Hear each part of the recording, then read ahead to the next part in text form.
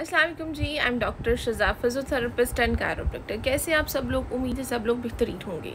अच्छा जी आ, मेरी अक्सर वीडियोस का मकसद होता है कि मैं आपको बहुत सारी चीज़ों के बारे में डिस्कस कर सकूँ बता सकूँ अवेयरनेस प्रोवाइड कर सकूँ उन मसलों के बारे में अपनी अपने प्रोफेशन यानी कि फ़िज़ियोथेरेपी के बारे में आपको बता सकूँ कि फ़िज़ियोथेरेपी आज कितनी मुफीद है और आप इससे कितना फ़ायदा हासिल कर सकते हैं। तो जी अक्सर जो मुझे आजकल देखने को ये चीज़ें मिलती हैं मैं उन पर डिस्कस करना चाहती हूँ कि हमारी सोसाइटी माशाल्लाह हमारे माशरे में आज बहुत पढ़ी लिखी आवाम है। जो भी मेरी वीडियोस देख रहे होते हैं आप लोग जी इल्म हासिल करते हैं, डिग्रियाँ हासिल करते हैं, किस लिए करते हैं? जब आपने अपनी सेल्फ़ के लिए ही उसको नहीं अपनी ज़ात पे ही आपने फोकस नहीं करना। जी, अक्सर मेरे पास मरीज़ आगे कहते हैं, हम फलां डॉक्टर के पास गए, उसने दवाइयाँ बता दी, हम फलां के पास गए, उसने सर्जरी बता दी, हम फ़लाँ के पास गए, उसने ये कर दिया, वो कर दिया। हमें तो पता ही नहीं चला। और तो किसी ने कुछ भी नहीं करना। तो जी आ, सबसे पहली बात ये है कि देखिए आप अगर तालीम याफ्ता हैं इल्म रखते हैं तो आप डॉक्टर से पूछें कि मेरी कंडीशन क्या है। डॉक्टर कोई भी होगा आपको आपकी कंडीशन के बारे में बता देगा। वो बोलेगा जी मैंने ये डायग्नोज़ किया है आप देख लें। अच्छा जी, इसमें कोई भी डॉक्टर होगा, मैं अगेन बता रही हूँ, आपको आपकी कंडीशन बता देगा।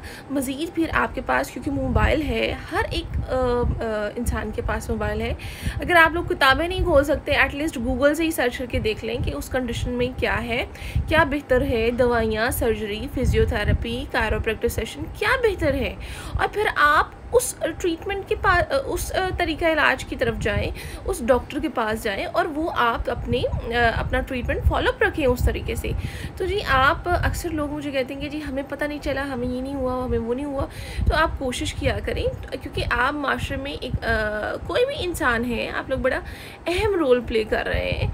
आप सिर्फ़ अगर अपनी ज़ात के साथ ईमानदार नहीं है तो यकीन करें आप किसी के साथ ईमानदार नहीं है। तो अपना अपनी ज़ात आपके लिए सबसे ज़्यादा ज़रूरी होनी चाहिए। चाहिए तो किसी डॉक्टर को जी उंगली उठाते वक्त ये देख लिया करें कि जी, आपने ख़ुद पे ख़ुद के साथ कितना एफ़र्ट की है। चलिए ये तो ज़िंदगी के मसले होते हैं मर्ज़ आ जाना, तकलीफ़ आ जाना, ये गुज़र भी जाता है। लेकिन आप उसको किस तरीके से डील करते हैं, ये आपको पता होना चाहिए। तो आ, कोशिश किया करेंगे किसी डॉक्टर को कंप्लेन करने से पहले आप ख़ुद सर्च कर लिया करें कि आपकी कंडीशन क्या है और अपने साथ जो है ईमानदारी दिखाया करें। अपना जी बहुत ज़्यादा ख्याल रखिएगा। उम्मीद है कि आप मेरी सब बातों को पॉजिटिव सोचेंगे पॉजिटिव